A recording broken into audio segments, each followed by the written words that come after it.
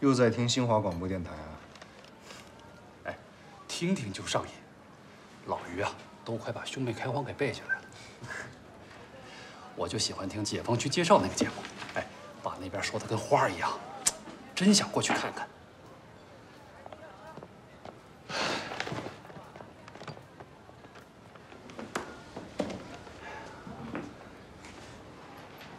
又是怎么王太太弄来的？可不是嘛，咱们通讯团啊是个安稳地方，长官公署的各位长官往这安排了一大堆姨太太，用也不能用，管也管不了。哎，干点这种走门路的事儿，灵得很。云飞，签了名字，赶快走，后面的事儿我们是真帮不上你了。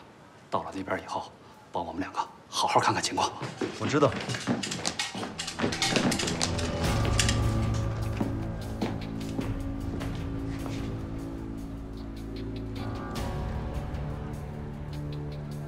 接警备司令部命令，清查可疑人员，报知县名号。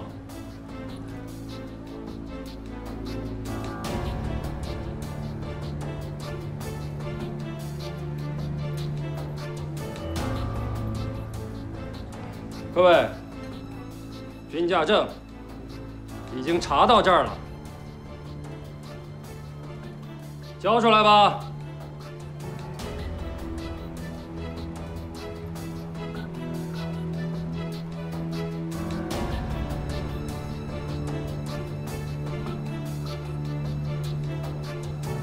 都带走。等一下，不用查他们。我叫赵云飞，原保密局重庆区审读组少校。我跟你走。带走。你们这两个闯祸的玩意儿，从哪给我找来这么个来路不明的野鬼啊？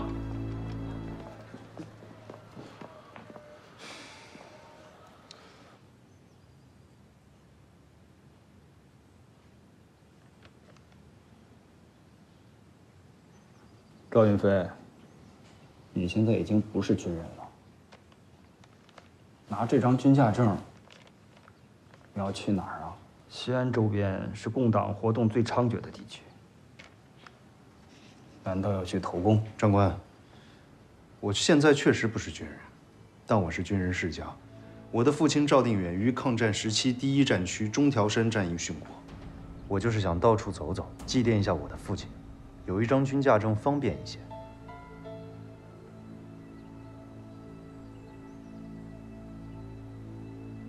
但这儿现在还是战区，军事相关的进出人员必须要经过严格的核查规定，你不能走。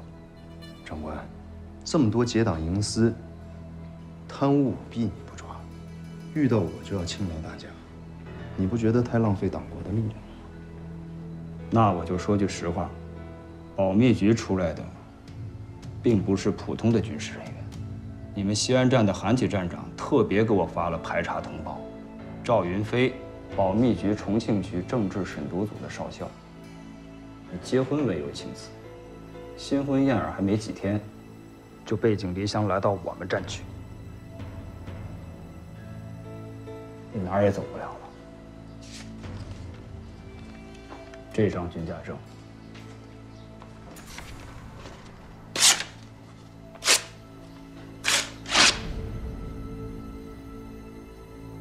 就此作废。来人，先收押。长官，我要求打个电话。打给韩启站长吗？盛文盛长官。你认识盛文长官？既然来到西安，就安顿下来吧。大丈夫是要建功立业的，毕竟我们是主力正规军。我看看还有什么职位帮你安排一下。沈叔叔，我回国之后一直都没有去我父亲牺牲的地方看一看，我想借着这个机会过去祭奠他一下。嗯。不过你要抓紧时间回来，中原战场打了这么久，这里恐怕很快就要动起来了。一旦起到兵，随时随地都是战场。放心吧，沈叔叔，我不会到处乱跑的。但是，我的身份可能比较麻烦，我怕保密局那边不会放过我。将在外，军民有所不受。只要你不瞎折腾，第一战区这片地方，我还是保得住你的。谢谢盛叔叔。没想到你还留了背手啊！你这个盛文叔叔啊，可比我俩好使多了。但你们俩是我的兄弟啊！哎，行啊，你小子还有点良心啊！岳飞，这一路上关卡、民团、土匪到处都是，四处劫掠，我担心你的安全。放心吧，我的脑袋哪有那么容易拿走啊？再说了，我现在就是一副教书先生的模样啊，到处游历，四处教书。土匪呀，最不会劫我这种穷书生了。行，这事儿啊，真像个教书的先生。哎，有句老话怎么说来着？文章赠命达。这书啊，越读越穷。土匪们都知道这个道理。岳飞，可一定要平安的回来呀！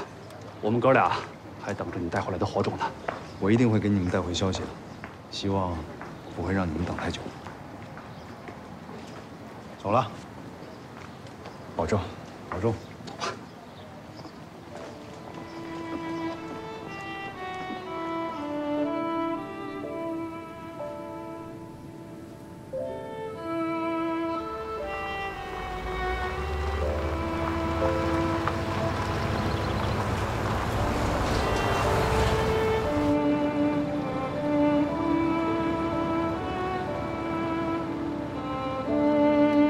追寻信仰的征程，注定如这山路一般曲折颠簸。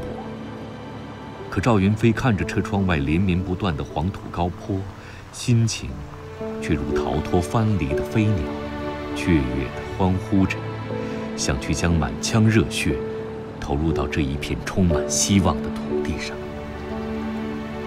曾经从这里传出的声音，越发振聋发聩。如今，他终于来到了这里。他渴望着在这里扎根，在这里成为一棵枝繁叶茂的光明之树。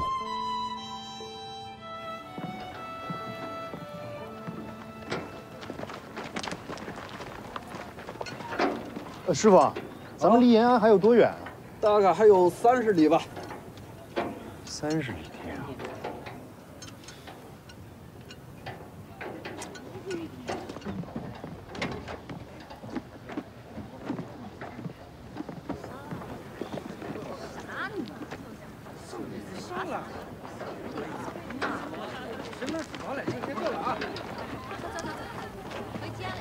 啊！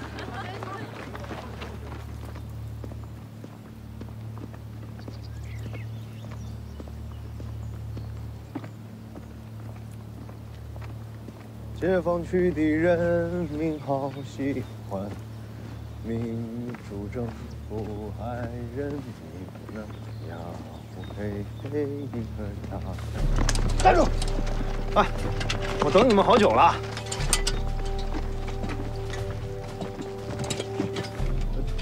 这把枪对于我来说很重要，你们替我好好保管着啊！带走！哎哎，轻点，轻点，我不反抗，不反抗，啊！怎么了？报告，找到一个国民党特务，还带着这个。呃，不是，你们别误会啊，我是来投奔你们的，我是从国统区来的，带这张军驾证啊，就是为了通过关卡。赵云飞，你你是？我呀，老邓，放开他。你怎么一个人来了？谁？白天我们见过面。你想干什么？我是来救你的。我凭什么相信你？机会就这么一次，你走不走？是你啊！先先别说这个了，你赶紧带我去见你们的领导，见李克农，我有重要的情报要通知他们。连我们都不能随随便便见到李克农首长。呃，那我能加入你们的吗？首先呢，我得感谢你当年对我的帮助。别的不说，现在敌情复杂，你是不是真的加入革命队伍，还得需要个甄别的过程。希望你能理解。明天我送你去枣园，一切到那里再说。好。哎，把东西还给他。是。给。行了，那你们回去吧。是是。那就谢谢邓首长了。千万别叫我首长。哎，你走了多远？饿不饿？今天晚上我招待你吃咱们延安小米饭。吃东西的事儿再说吧。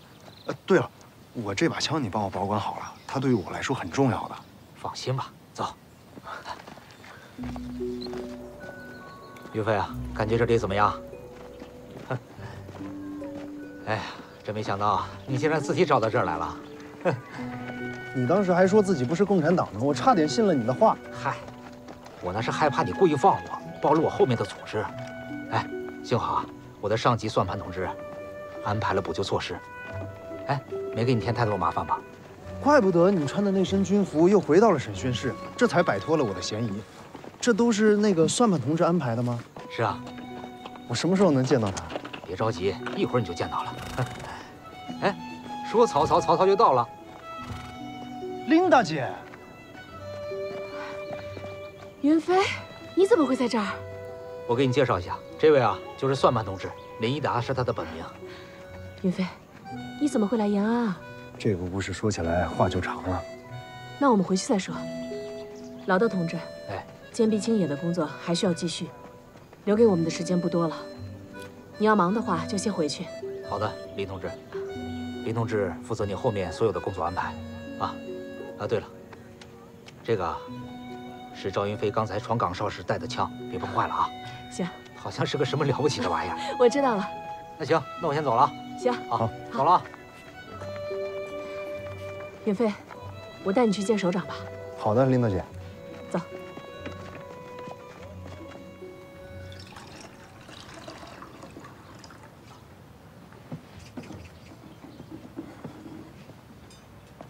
首长，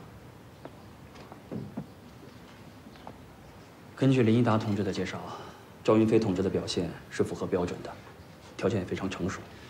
冒着这么大的生命危险来到了延安，而且还带了这么多重要的军事情报。林一达同志说，他在重庆观察赵云飞很久了，是信得过的。他们家跟郑群同志的家里是世交，郑群同志的牺牲也促成了他这次主动的转变。郑群同志播下的种子，现在开始破土而出了。三年前我们得到的战略情报和赵云飞带来的说敌人开始集结兵力，这个情报是相吻合的。我也觉得是这样啊。他情报的来源是通过他介绍到胡宗南直属通讯团的两个电台台长透露出去的。而且林一达同志介绍说，这两个台长在重庆时期就是赵云飞的密友。反感国民党军队的黑暗，他们在值班的时候还经常偷听我们的广播，受过处罚。但是这次赵云飞来到延安，这两位给了很大的帮助，并且有弃暗投明的决心。嗯，敌人的台长、报务员、一点盐，他们是可以直接接触电报内容的，当然应该吸收他们，加入我们的队伍。哎，你觉得？赵云飞的最佳位置是在哪里？当然是敌人的心腹地带啊！我明白您的意思。如果说现在把他派遣出去的话，是不是还有一些顾虑？要不然这样，再考察他一段时间。我们应该相信林一达同志在一线工作的时候对他的判断和结论。胡宗南军队一旦发起进攻，我们需要平行布置我们内线情报这对我们的工作非常有利。行，首长，您比我看得远，我马上对他进行考核问话。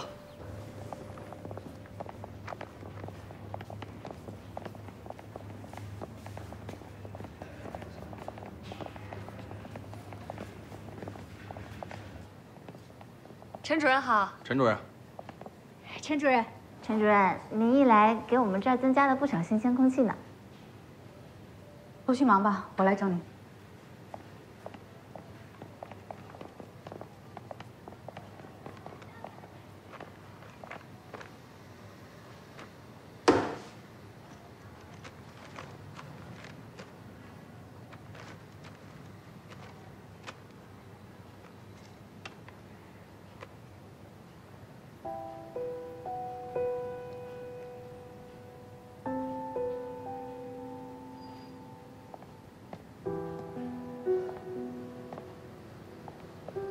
叶处长，叶处长，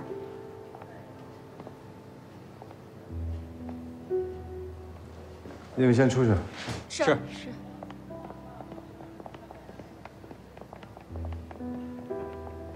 叶处长，叶天，我不是说过了吗？没人的时候就不要叫处长，叶叔叔，又在想你父亲了。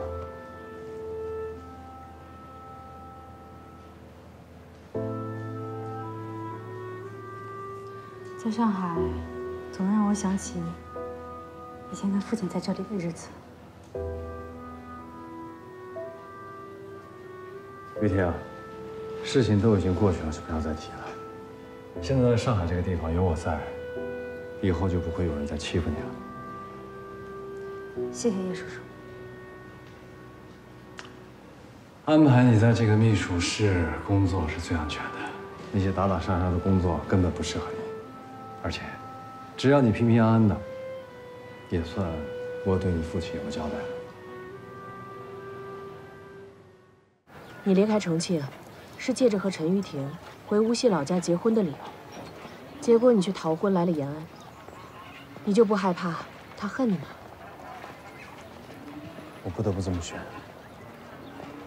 在重庆，我看到军统的人拷打沈杰，拷打老邓，拷打你，还有我的好朋友萧琪和他怀了孕的妻子珍珍，为了发出电报，不惜牺牲自己的生命。还有郑群姐姐，隐姓埋名，英勇就义。我怎么可能还待在那么肮脏的机构里边？我应该去完成他们未尽的理想。我相信你的坚定。你既然愿意带着陈玉婷回无锡老家，那你觉得他是个什么样的人？看得出，你的心里面记挂着他。易大姐，陈玉婷一直在调查她养父的死因，军统给出的答案是她养父的死和共产党有关系。可是我想不明白，共产党怎么会去杀害一名抗日英雄呢？这其中一定有什么不为人知的秘密。我觉得只要解开了这个疑团。玉婷，她是可以争取的。这把枪是他送给你的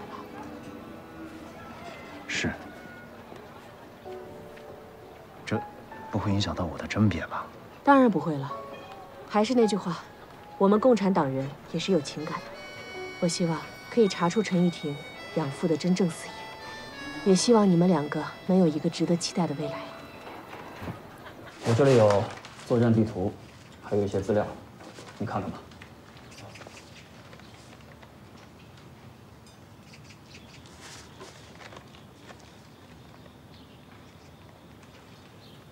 首长，嗯，您信得过我？我们信得过经得起血与火考验的战士，这也是你重生的机会。我们相信，你一定会把握住的。来吧，跟我说一说。你思想转变的过程。我在审读组的时候，每天都能接触到那些红色的宣传品，是那些鼓舞人心的文章打动了我。当然，不仅是那些红色宣传品，我还见到了像萧琪、珍珍、沈杰，还有郑群姐姐那样的共产党人。他们用生命践行他们的信仰，是他们擦亮了我的眼睛，点燃了我的信仰。不是他们。是我们，是我们的同志。林达同志说了，这也是你能够正确选择你的人生道路，能够树立起你的共产主义信仰的源泉。张一飞同志，我代表组织，欢迎你参加革命。不过，可能你要暂时要离开延安一段时间。您的意思是，让我回到国民党的内部去？每个革命战士都有他发挥力量的岗位。我们的作风是，好钢要用在刀刃上。现在正是蒋家王朝与革命力量拼个你死我活的关键时刻。听说你舞蹈跳得不错，敢不敢来一场刀尖上的舞蹈？所以我会像萧琪、珍珍、沈杰，还有郑群姐姐他们那样。没错。要像他们那样，机智又勇敢；要像他们那样，遇到困难坚韧不拔；要像他们一样，面对枪口和屠刀威武不屈。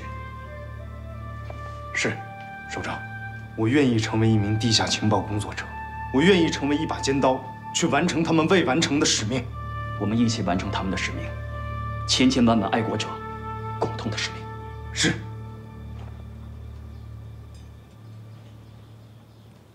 讲坛上的步道描绘的是理想中的天国。陈玉婷眼前闪过的却是现实的苦难凡尘众生皆是无国无民。为了追寻人间的正道，赵云飞已经奔赴了远方，陈玉婷却不知道自己该何去何从。如果不是养父之死的阴影横亘在心头，他会不会追随赵云飞的足迹？这个念头闪过，他赶紧警醒自己，不要忘记现在的身份和立场。但这个念头却像种子般在心头扎下根来。沈妈妈，你看，前面叔叔在讲话呢，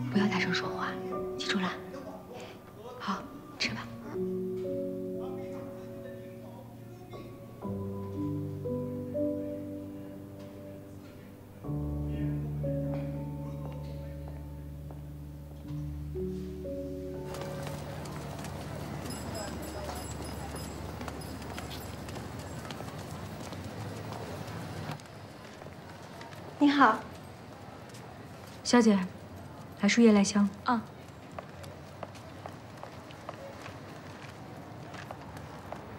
您拿好，慢走再来。为什么没有香味呢？您说笑了，夜来香，夜来香就是夜里开花才会香呀。嗯，您要是想要香一点的话，我给您拿束百合怎么样？不用了，这就可以了，谢谢。哎，小姐，等一下，在我们小店买花儿都会送一张花语卡片，这是夕阳来的新规矩，博您一笑。危险的快乐。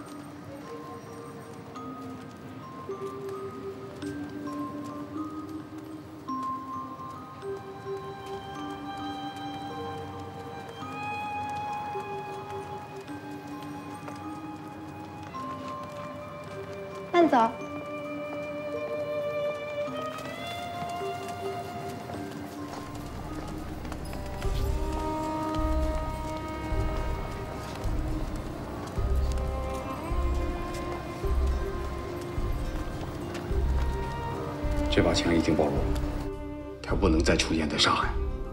你把他带回去。这把枪只能杀不仁不义之徒。知道了，爸爸，你一定要照顾好自己。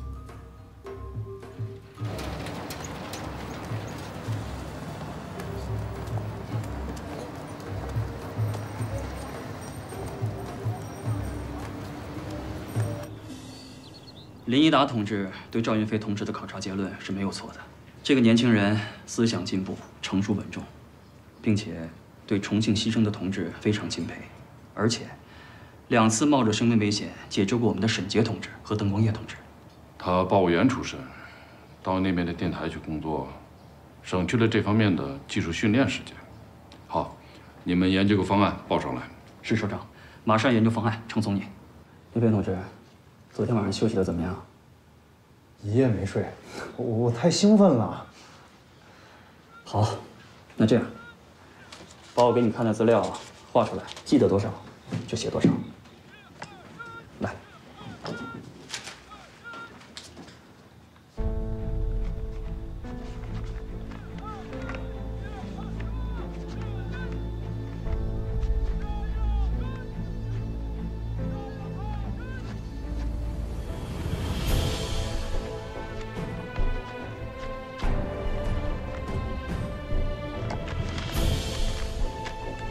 重庆的时候，因为国民党的倒行逆施，赵云飞的平生所学被他自己有意的隐藏着。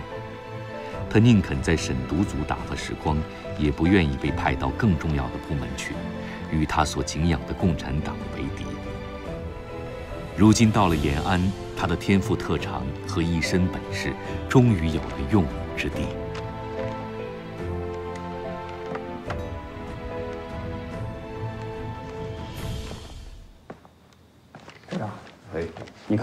了一夜，一个字都不差，真是个奇才。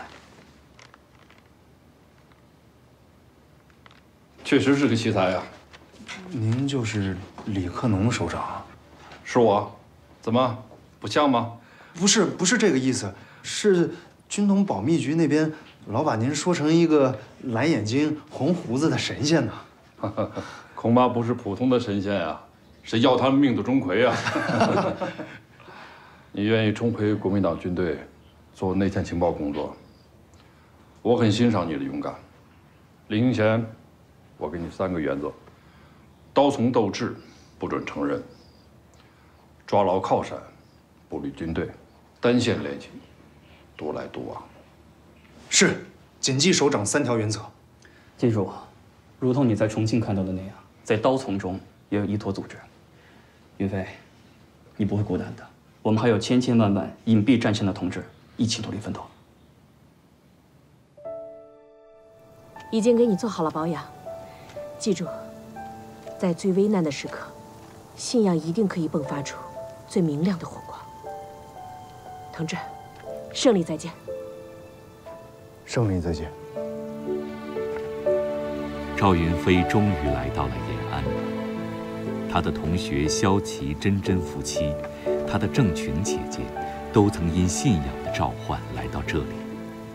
这片土地上的一切陌生而熟悉，而只有当告别的时候，他才知道，支撑着他们战斗到最后一刻的，到底是什么。云飞，抓紧时间再看一下密码波段、时间和方位，确保将来沟通万无一失。我们还有在西安埋伏的同志，一定要记住接头暗号。解开第一个扣子，再解开最后一个扣子。不到万不得已的时候，千万不要启用。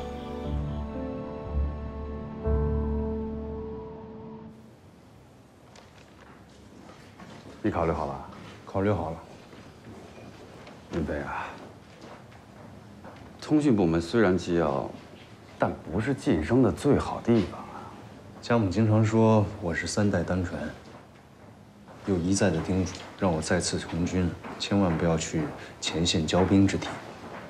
再说了，这通讯本就是我的强项，我留在通讯总部，共进退，这样报给家母，也能让她放心一些。于情于理，也应该如此。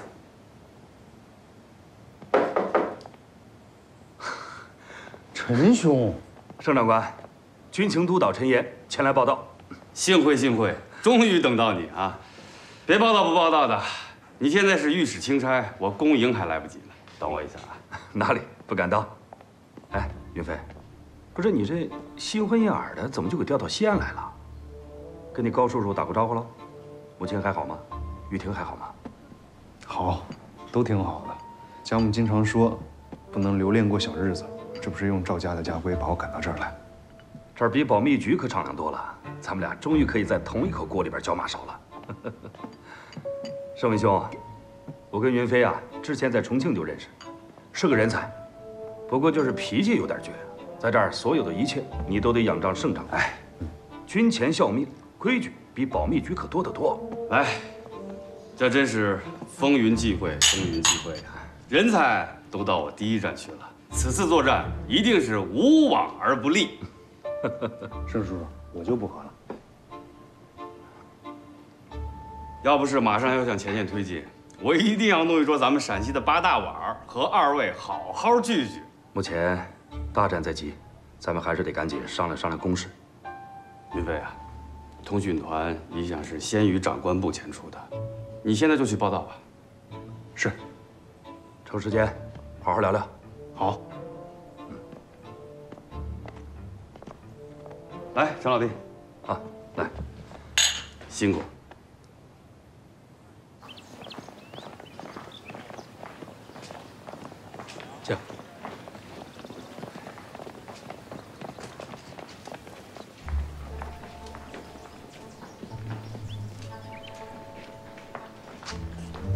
还愣着干什么呀？好，我来介绍一下啊，赵云飞，盛长官的红人，在咱们通讯团负责那个最先进的美国电台。为啥？咱赵兄弟是打美利坚留学回来的，那个东西啊，他弄得最明白。好，以后我们可就是同舟共济了。赵兄弟啊，后有什么照顾不周的，还请多多海涵。那我先忙去了。哎，好。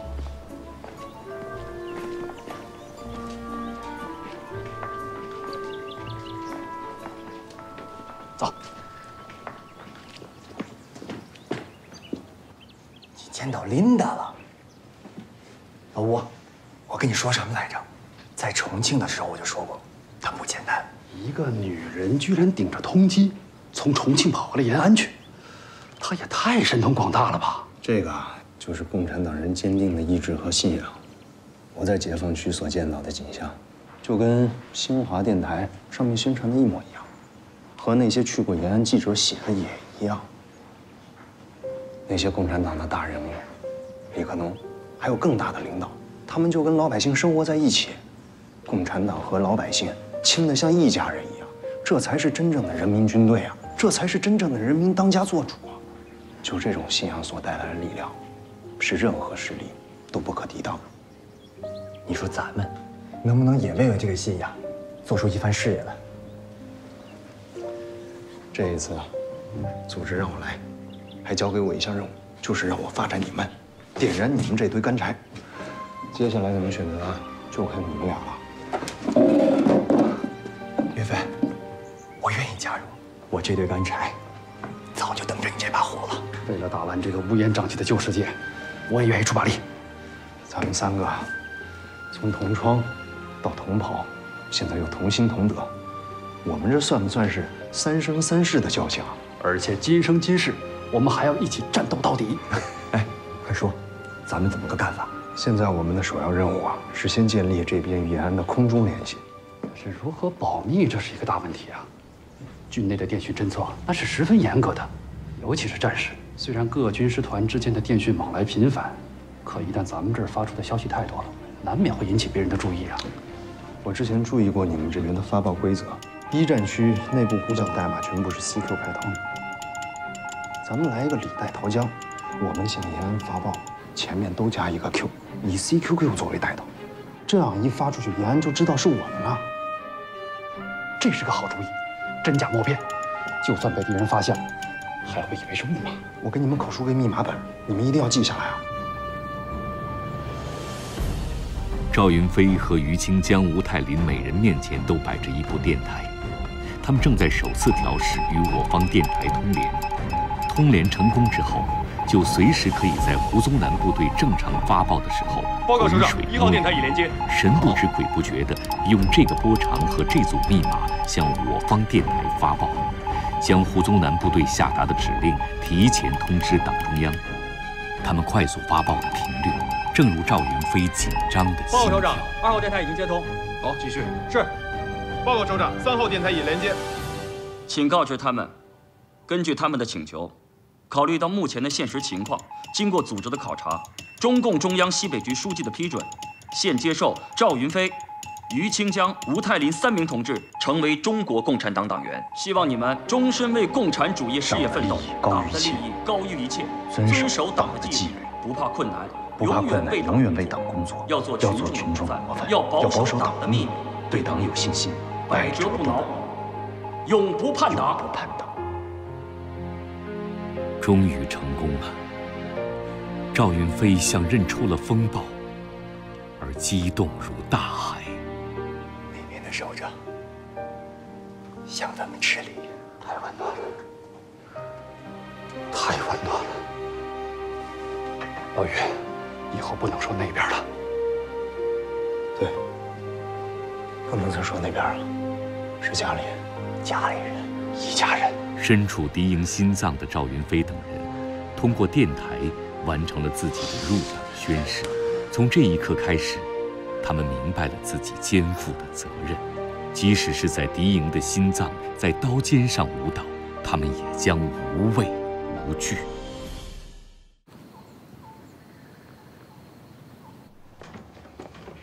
报告，进。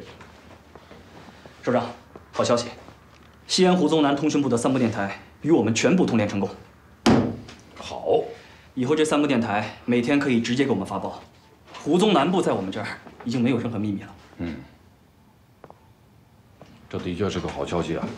通讯联络科要密切关注这三部电台的电报，一有消息，刻不容缓的送到我这里。明白，首长。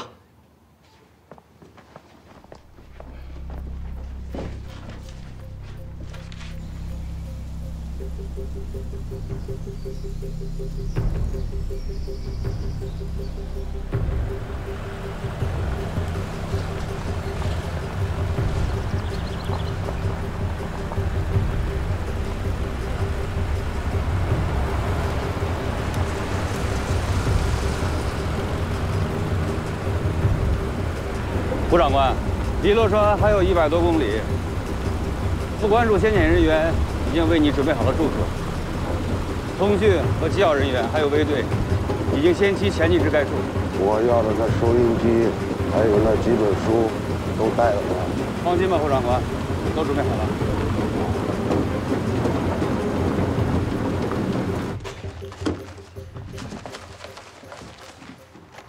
报告，是。首长，西安电台电告：吴宗南遵照蒋介石命令推迟三天轰炸延安，原因是外国记者还没有完全撤出。立即把此电急报中央各位领导。是。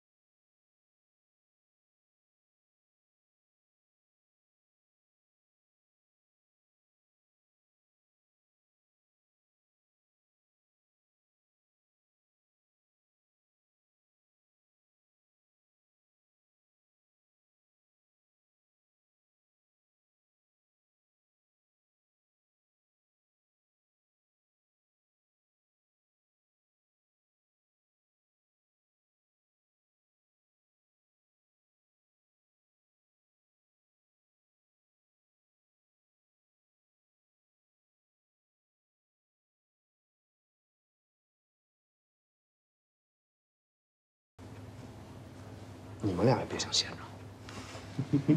主席啊，嗯我们埋伏在胡宗南身边的熊向晖同志发来蒋介石命令攻打延安的情报，这是一份最及时、最详尽的情报。蒋介石已经任命裴昌会为前进指挥所主任，谢敏全为参谋长，王超凡为政治部主任，王承昭为参谋处处长。胡宗南决定十三日拂晓向延安发起攻击。转战陕北的时机到了，先请胡宗南进来。他这次啊，会采用蛇蜕皮和方阵式的作战打法。彭德怀同志将采用反击战法。熊向晖和西北局的这个情报很及时啊。胡宗南的军队，他们的作战方式正如主席所判断的。他们为了防止咱们在复杂的地形伏击和夜袭，胡军规定，带七天的干粮，拂晓行军，薄暮露营。先占领阵地，依次掩护本队前进，首尾相顾，左右相连。更重要的是，他为了防止我们的地雷阵，敌军规定只走山，不走川。不走川？哼，看来啊，是被我们的彭大将军和王胡子给打怕了吧？他不走川，咱们走；他要是走山，正好。自会有我们的部队啊，等着他呢。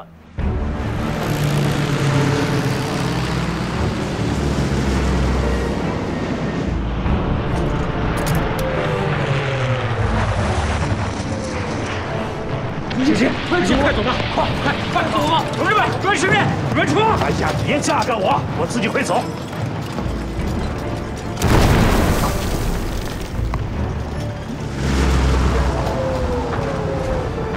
我们在延安待了十十三年，还是你说的对，我们放弃延安是为了大踏步的向前进。我们要用一个延安换取一个新中国嘛。